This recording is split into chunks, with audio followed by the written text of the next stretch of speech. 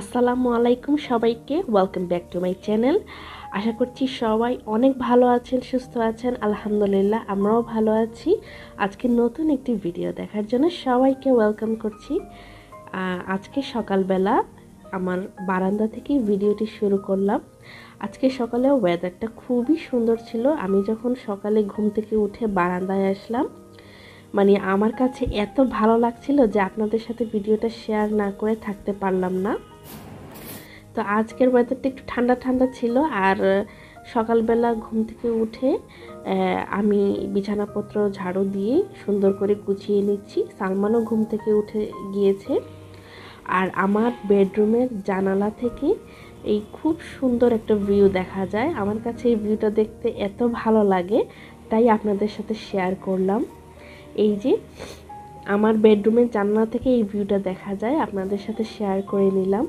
আর এখন আমি সকালবেলা বিছানাপত্র সব কিছু গুছিয়ে আমি চলে যাব কিচেনে। সালমানের ব্রেকফাস্ট রেডি করতে হবে। আর আমার একটু ঠান্ডা লেগেছে, তাই আমার ভয়েসটা একটু একটু এরকম শোনা যাচ্ছে আসলে।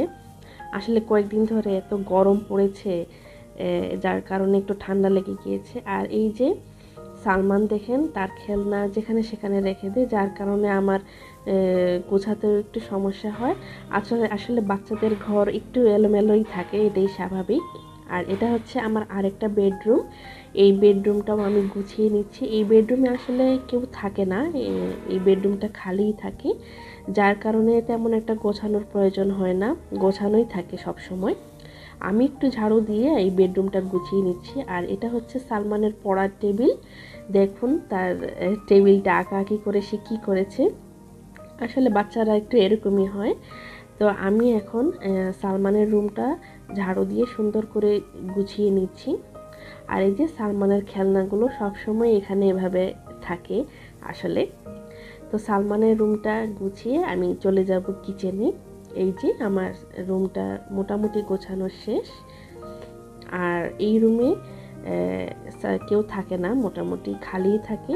তো এই যে সালমানের পড়ার টেবিল আর সালমানের বই খাতা, এগুলো আমি গুছিয়ে নিয়েছি। আর এই রুমে অনেক বড় একটা বারান্দা আছে, এই তো।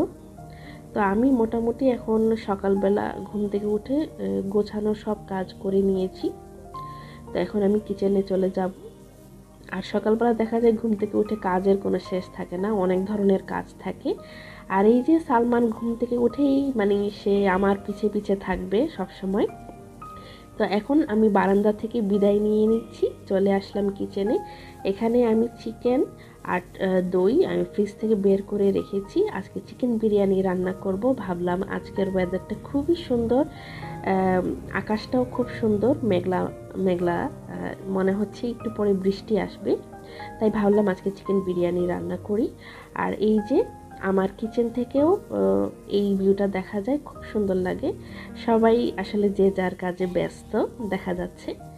তো এখন আমি সালমানের ব্রেকফাস্টটা রেডি করে নিচ্ছি। এখানে সালমানের জন্য নুডলস তৈরি করতেছি। এখানে অল্প একটু তেল দিয়ে পেঁয়াজ, রসুন আর কাঁচামরিচ একটু ভেজে নিয়েছি। তারপরে এখানে আলু কুচি দিয়েছি। আসলে আমার বাসায় তেমন কোনো সবজি ছিল না। তাই আলু দিয়ে আজকে সালমানকে নুডলসটা তৈরি করে দিচ্ছি। তো এখানে আলুটা সেদ্ধ করে একটু ভেজে নিয়েছি। তারপরে দুটো ডিম দিয়ে, সামান্য একটু লবণ দিয়ে ভেজে নিচ্ছি। আর সালমান নুডলসটা খেতে খুবই পছন্দ করে। আর এই তো, নুডলসটা দিয়ে নিচ্ছি। নুডলসটা দিয়ে একটু নেড়ে চেড়ে ভেজে নেব। আর সালমান নুডলসটা খুবই পছন্দ করে, তাই সালমানের পছন্দের ব্রেকফাস্ট দিতেই চেষ্টা করি। না হলে দেখা যায় যে সে খেতে চায় না। তো আমি নুডলসে একটু সামান্য গোলমরিচ আর নুডলসের যে প্যাকেট মশলা থাকে সেটা দিয়ে ভালোভাবে ভেজে নিয়েছি। এখন আমার ব্রেকফাস্টটা রেডি সালমানকে ব্রেকফাস্ট দিয়ে দিয়েছি। তো সালমান যেহেতু রোজা রাখিনি, শুধু আমি রোজা রেখেছি, তাই সালমান তার ব্রেকফাস্টটা এখন করে নিচ্ছে। এই যে তার পছন্দের নুডলস হলে আর কিছুই লাগে না, সে নিজেই হাত দিয়ে খেয়ে নেয় না হলে দেখা যায় যে তাকে আমার খাওয়াতে হয়। তো সালমানকে ব্রেকফাস্ট করিয়ে আমি এখন একটু বাহিরে যাচ্ছি, আমার বাহিরে কিছু কাজ আছে। তো বাহির থেকে এসে আমি আবার আপনাদের সাথে কথা বলব। তো বাহির থেকে আমি চলে এসেছি, এসে টুকিটাকি কিছু কাজ ছিল আমার, সেগুলো করে এখন সরাসরি কিচেনে চলে এসেছি। তো চিকেন বিরিয়ানি রান্না করার জন্য চিকেনগুলো আমি এভাবে একটু মাঝখান থেকে একটু কাট দিয়ে নিচ্ছি, এভাবে কাট দিলে ভেতরে মশলা ভালোভাবে ঢুকে আর চিকেনটাও খুবই মানে মজা হয় জুসি জুসি চিকেনটা খুবই জুসি হয়, খেতেও মজা লাগে। আর এখানে বিরিয়ানি রান্না করার জন্য রাঁধুনির যে বিরিয়ানি প্যাকেট মশলা আছে, সেটা দিয়ে আজকে আমি চিকেন বিরিয়ানি রান্না করব। এই প্যাকেট মশলা দিয়ে চিকেন বিরিয়ানি রান্না করে দেখবেন, খুবই মজা লাগে খেতে। আর এই তো আমি এখানে সব মশলা দেওয়া থাকে। আলাদা কোনো মশলা দেওয়ার প্রয়োজন নেই। তো এখানে চিকেন বিরিয়ানির জন্য আমি চিকেনগুলো ভালোভাবে ধুয়ে পরিষ্কার করে পানি ঝরিয়ে নিয়েছি। এখন আমি চিকেনগুলো মশলা দিয়ে মেরিনেট করব। এখানে আমি তিন টেবিল চামচ আদা রসুনের পেস্ট দিয়েছি। আদা রসুন আমার একসাথেই পেস্ট করা আছে। তারপর তিন টেবিল চামচ পেঁয়াজ বাটা, তিন টেবিল চামচ টক দই তারপরে পরিমাণ মতো এখানে লবণ দিয়ে নিচ্ছি। তারপরে রাঁধুনির যে বিরিয়ানির প্যাকেট মশলা, সেই পুরো এক প্যাকেট মশলা আমি দিয়ে নিব। রাঁধুনির বিরিয়ানি মশলাতেই দেখা যায় সব মশলাই থাকে, আলাদা কোনো মশলা দেওয়ার প্রয়োজন হয় না। তাই আমি পুরো এক প্যাকেট দিয়ে নিচ্ছি। এখানে আমার দুই কেজির মতো চিকেন আছে। তো আমি আর কোনো মশলা দেব না, জাস্ট এগুলো দিয়ে আমি চিকেনটা মেরিনেট করে রেখে দিব। চিকেনটা আমি ভালোভাবে মেরিনেট করে নিচ্ছি। আর দেখা যায় সালমান চিকেনটা খুবই পছন্দ করে, তাই আজকে চিকেন বিরিয়ানি রান্না করছি সালমানের জন্য। আপনারা চাইলে বিফ বা মাটন দিয়েও এই বিরিয়ানিটা রান্না করতে পারেন। আর খেতেও অনেক মজা হয়। আমি সবসময় এভাবে প্যাকেট মশলা দিয়ে বিরিয়ানি রান্না করি। খুবই ভালো লাগে খেতে। তো আমি চিকেনটা ভালোভাবে মেরিনেট করে এক পাশে রেখে দিচ্ছি। আর এদিক থেকে বিরিয়ানির জন্য আমি কয়টা ডিম সিদ্ধ বসিয়ে দিয়েছি চুলায়। তো ওদিক থেকে আমার ডিম সিদ্ধ হচ্ছে, আর এদিক থেকে আমি বিরিয়ানির জন্য পোলার চাল নিয়েছি। এখানে আমি চার কাপ পোলার চাল নিয়েছি মেপে। তো চার কাপের জন্য আমি ডাবল আট কাপ পানি দিব। তো পোলার চালগুলো আমি ভালোভাবে ধুয়ে পরিষ্কার করে একটা স্টেনারে রেখে দিব পানি ঝরার জন্য। আর এখানে আমি ইফতারির জন্য ঠান্ডা ঠান্ডা লেবুর শরবত তৈরি করতেছি। তো এখানে লেবুর শরবতে আমি পরিমাণ মতো চিনি আর একটু লবণ দিয়েছি। লেবুর শরবতে দেখা যায় যে চিনির চিনিটা একটু বেশি দিতে হয়। তো এভাবে ঠান্ডা ঠান্ডা লেবুর শরবত খেতে খুবই ভালো লাগে ইফতারিতে। সারাদিন রোজা রাখার পরে। খুবই পিপাসা লাগে। তখন দেখা যায় এরকম ঠান্ডা শরবতটা খেলে মানে মন প্রাণ জুড়িয়ে যায়। তো এখানে সালমান আর আমার আমার জন্য আমাদের দুজনের জন্য লেবুর শরবত রেডি করে নিয়েছি। ইফতারির জন্য আমি শরবতটা আগেই রেডি করে নিচ্ছি। তো এই যে আমাদের মা ছেলের শরবত রেডি সালমানের গ্লাসটা আমি বাহিরে নর্মালে রেখেছি, যেহেতু সালমানের ঠান্ডা লেগে যায়, একটু ঠান্ডা খেলেই। আর আমার গ্লাসটা আমি ফ্রিজে রেখেছি, যেহেতু ইফতারিতে আমি ঠান্ডা ঠান্ডা লেবুর শরবত আমার কাছে ভালো লাগে খেতে। তো এখানে আমি বিরিয়ানির জন্য চিকেনটা রান্না করে নিচ্ছি। এখানে ফ্রাই প্যানে সরি চিকেন বলতেছি। এখানে আমি প্রথমে পেঁয়াজ বেরেস্তা করে নিচ্ছি মানে বিরিয়ানির জন্য। তো এখানে আমি পেঁয়াজ বেরেস্তা করে পেঁয়াজগুলো একটু খুলে খুলে নিচ্ছি যাতে একটু মানে পেঁয়াজের বেরেস্তাটা খুবই সুন্দর ঝরঝরে হয়েছে। দেখতে পাচ্ছেন আমার পেঁয়াজ বেরেস্তা রেডি এখন আমি এক পাশে পেঁয়াজ বেরেস্তা রেখে দিয়েছি। আর যে ডিমগুলো সিদ্ধ করে নিয়েছিলাম, সেগুলো একটু লবণ আর হলুদ দিয়ে মেখে আমি তেলে হালকা একটু ফ্রাই করে নেব। বেশি ফ্রাই করব না, কারণ ডিম বেশি ফ্রাই করলে দেখা যায় ডিমটা শক্ত হয়ে যায়। তখন আর খেতে ভালো লাগে না। এই তো তেলে ডিমগুলো হালকা একটু ফ্রাই করে নিচ্ছি মানে একটু সুন্দর লাগে দেখতে।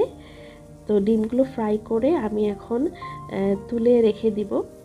আর এভাবে চিকেন বিরিয়ানি রান্না করে দেখবেন, খুবই মজা লাগে খেতে। এই যে আমার ডিম ফ্রাই হয়ে গিয়েছে, এখন আমি ডিমগুলো এক পাশে রেখে দিয়েছি।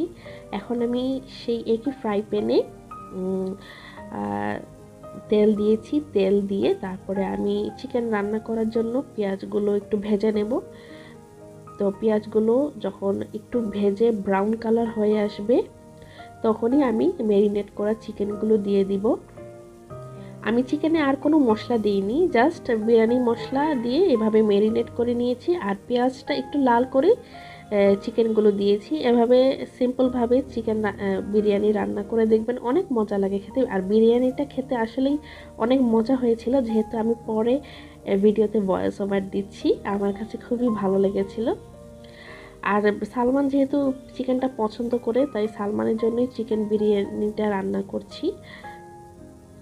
আই তো চিকেনটা আমি একটু পানি দিয়ে ভালোভাবে সেদ্ধ করে চিকেনটা আমি আলাদা রান্না করে নিয়েছি, যেভাবে আমরা সবসময় রান্না করি। তো চিকেন রান্না করার পর আমি এক পাশে চিকেনটা রেখে দিয়েছি। এখন আমি পোলাওয়ের জন্য গরম মশলা রেডি করে নিচ্ছি। এখানে দারচিনি, এলাচ, লবঙ্গ, তেজপাতা একটু ছোট ছোট করে ছিঁড়ে নিয়েছি যাতে নাড়তে সুবিধা হয়। আর এখানে আস্ত গোলমরিচ আর আস্ত কাবাব চিনি দিয়েছি। বিরিয়ানিতে দেখবেন এগুলো দিলে মানে খুবই মজা লাগে খেতে।